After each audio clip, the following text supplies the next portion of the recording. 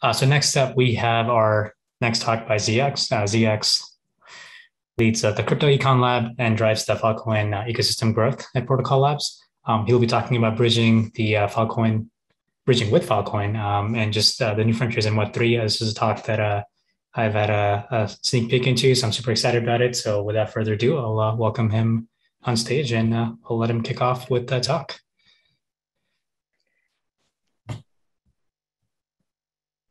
Great, thank you, Karthik. Um, just give me one moment.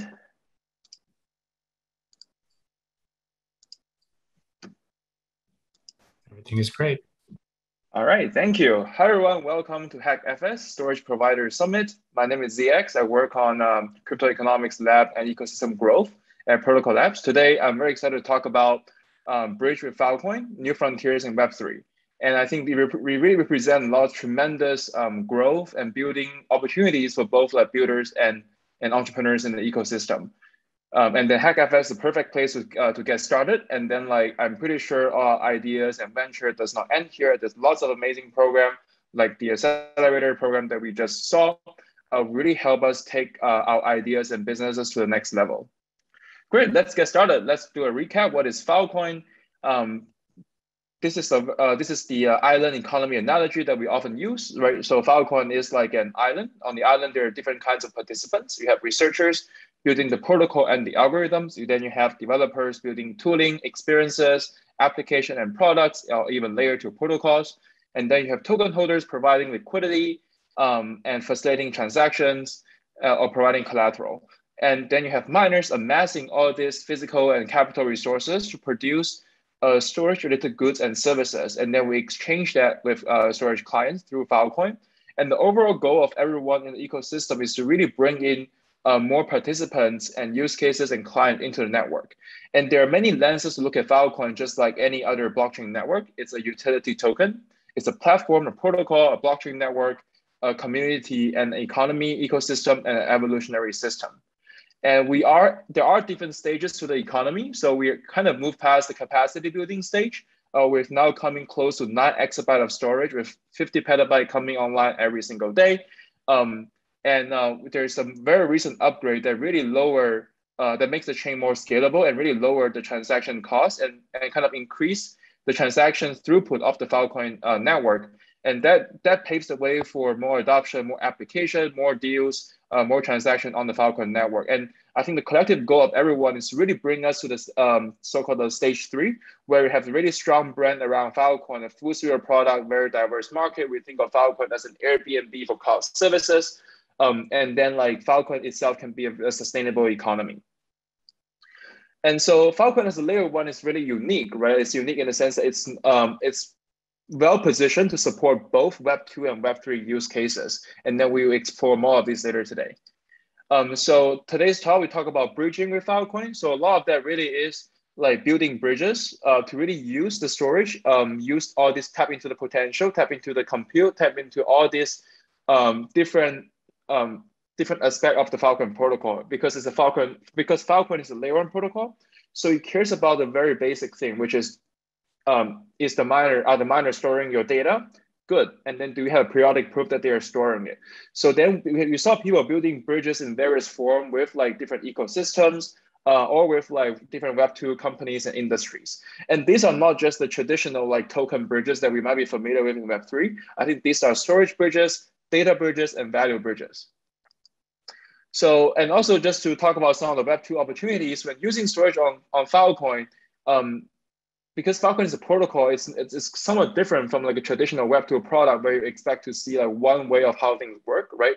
Storage is provided uh, on Filecoin in the form of sectors, right? Like uh, it gets proven, uh, the protocol checks on it every 24 hours. And then using storage on Filecoin really is to use the storage provided by storage providers on the Filecoin network.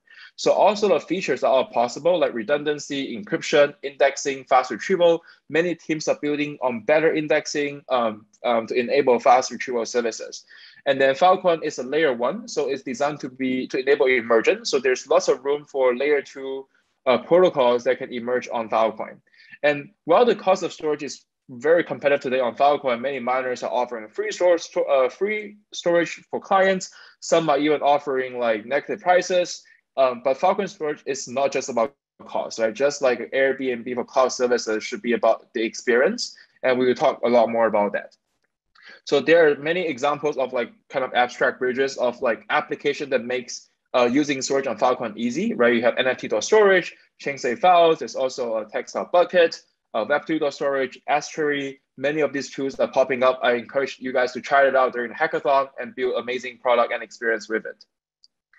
And uh, another big opportunity here would be like client miner. Right now, there are close to 3,000 uh, storage providers on the Filecoin network, right? As a client coming to the protocol, uh, which one which one do we choose, right? Like so, there's lots of um, room here of improving the UX of the clients. I think some of the tools that I mentioned earlier are great examples. And then there's also space for like deal matching platform, kind of like Airbnbs or Dropboxes on the Filecoin network. And we started to see many of these uh, emerging. And then like reputation system will come into key, and then that will also extend into like credit and other ratings. And then that also give us the opportunity to define grades of storage services which is then become a precursor to commoditized cloud storage, which is something that we have never really done before. And we talk about DeFi a lot, but it's also entirely possible to have exchanges, whether it's centralized or decentralized, or even new form of exchanges based on new structures uh, on cloud services. And as we mentioned, like there's lots of compute GPU sitting around storage. Um, this co-location of storage and, com and compute represent tremendous opportunities. I think we'll hear uh, from one of the large storage providers later today to talk about um, different opportunities at, uh, as the Filecoin storage providers. And then you can run analytics, algorithms, and then offer smart GPU as a service. We all know that the metaverse will likely require lots of both storage and compute resources. The Filecoin network will be a perfect place for that. And then like people also researching and building caching and retrieval services. Um, there's also, given that you need like uh, collateral for uh, file, uh, to become a storage provider on Filecoin, there's also token price volatility, which doesn't have to be borne by either the miners or the client. There's actually lots of opportunity for financial services on Filecoin. It'd be really useful to help with like managing risk, providing liquidity and reducing uncertainty. And then everyone can benefit with a more predictable um, kind of financial situation. And then data services will become increasingly important as the level of activities uh, in, increases on Filecoin. When you understand what's the risk profile, uh, both for the storage and the storage provider and the clients, and then that, that enable participants to make more informed decision. We start to see like money return calculators, uh, more and more sophisticated um, analytics with lenders, and strong network analytics really paved the way for more sophisticated products on Filecoin. So we talk a lot about like Web2 style interactions. I also want to emphasize Filecoin really brings a unique and new building block to Web3. And we use this like diagram to really illustrate, right? We call that the dataverse, and this is what we call like a data supply chain. It's very common in Web2 world, right? You have like production of data. Many times um, these data are actually public, right? Then you have refinery, um, can you mine insight? Can you clean up the data? And then you do curation. We package that in the format that people uh, want and then deliver value or satisfy some kind of desire, right? And then you generate value and then potentially attribution, except that in the traditional Web2 world, many of the attribution really happen in the last stage, right? But in the case of like Web3, you really have this network structure. And I think this is where the whole content address web of IPFS really come in. You have this network of nodes and edges. How do you define them? That is like a full-on protocol defining what is a node, what is an edge. And there's lots of research on this uh, from the traditional network science literature. Um, but IPFS layer gives you this network structure and enable us to define the structure over it. And then the, what the Filecoin layer really brings to the table, I think one is huge volume, very cheap supply of storage. Um, but as we already know, it's not just about price. So it's really about that experience and the value. And the next piece is this periodic proof about the data being stored on Filecoin.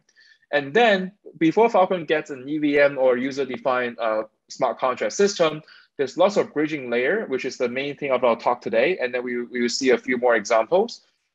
And they enable others to build smart contract layer uh, logic on top of this, um, on top of the Filecoin uh, storage network.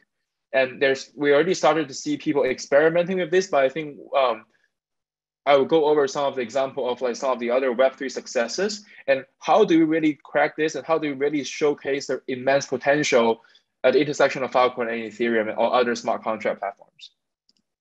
So going back to this again, right? So these are not just the regular token bridges. This is something that the world has not even seen. uh, we have not fully appreciate the potential and the power of these storage bridges. So these are not just like token, they could be storage, value, data, attribution, flow. It could really be anything. The sky is the limit. And HackFS is a perfect uh, venue to really explore, build teams, and kind of like try it out, um, really experiment what could be possible. Many of the many of the successes in Web3 started in hackathons like this one.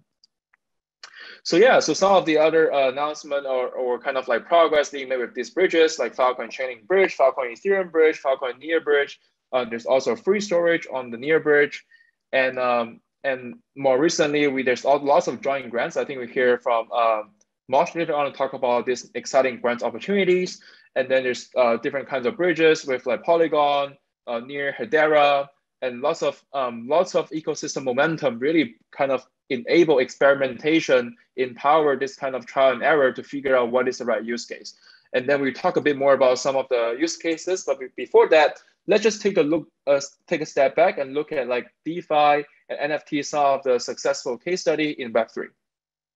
So back in 2015, when Ethereum first came up, right, like people talk about like smart contract, but it took us a long time to figure out what is the product market fit, what can we really do with it that can really um, satisfy like consumer uh, and, and customer demand.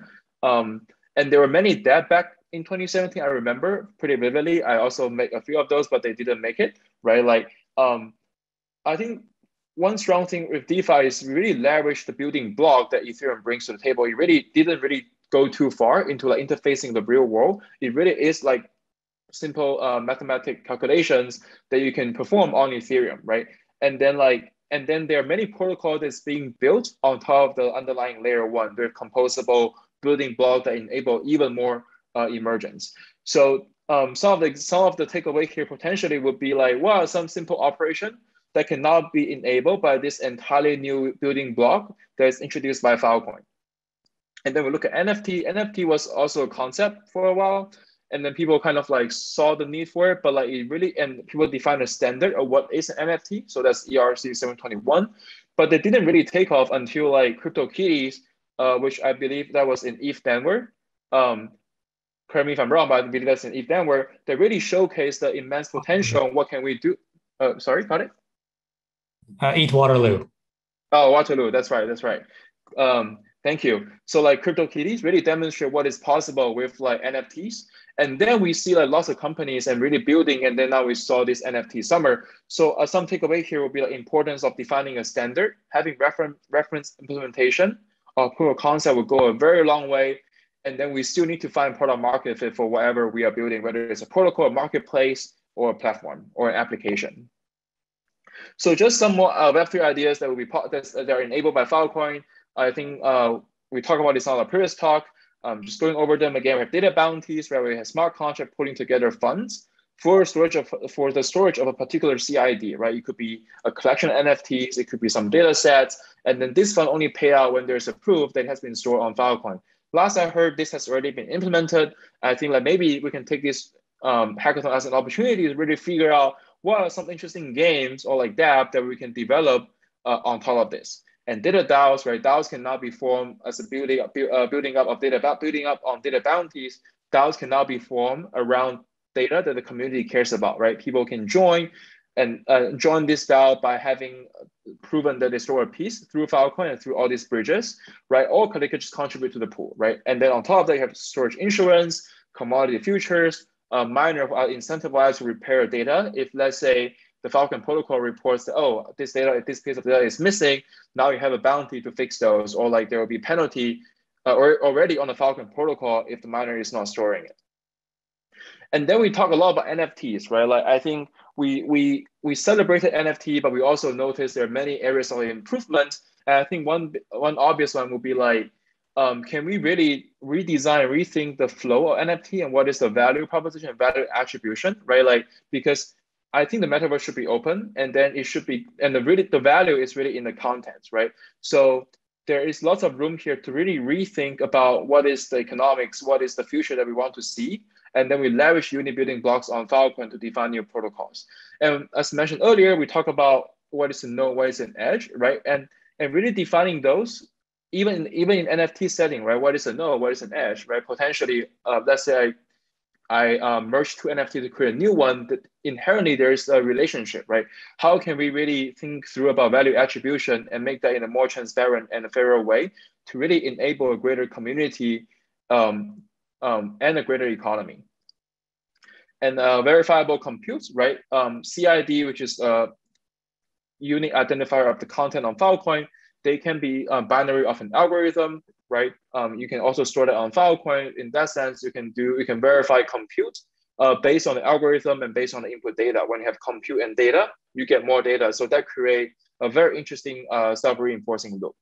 And I think like lastly, I think there's lots of room for layer two protocols on Filecoin. You really leverage this guarantee, this like basic building block that the protocol provides, right? You can build multiple perpetual storage protocols on Filecoin, pay one store forever. You can see like maybe 10 of these on Filecoin, content delivery protocols. You can also see many of these on Filecoin. And another observation here is when you look at all these like uh, Web2 platforms, right? Like when they first started out, users have really strong incentive to uh, to use the platform, upload data, to use the storage, right? Like can we think about more creative incentive uh, for clients to use Filecoin, to use Web3 to really bring their, um, their digital existence onto the Web3 infrastructure. So with that in mind, Filecoin really is an exponentially growing ecosystem and many of um, teams come into our ecosystem through the previous iteration HackFS. So I'm very excited for uh, HackFS this time around as well. Um, and as we really, as we participate in hackathon, we think about what new interaction can we enable, what kind of businesses are we building, and how can we find product market fit. And to recap, Filecoin is really uniquely positioned. Um, there's immense opportunities building layer two protocols, platforms, and product on Filecoin. And we should constantly think about the business model. And there are many, many areas as we lay out that we can explore together as a community. And with that, I would like to um, pass on the time back to Karthik. Thank you for uh, excellent presentation. Uh, there was a lot of information, and I, I know everyone's going to take some time to digest that. Given that we are a little short on time, I want to uh, remind people to continue the conversation in Discord. Um, if that's a good place for them to reach you, I know I know we're really excited to get uh, the conversation underway.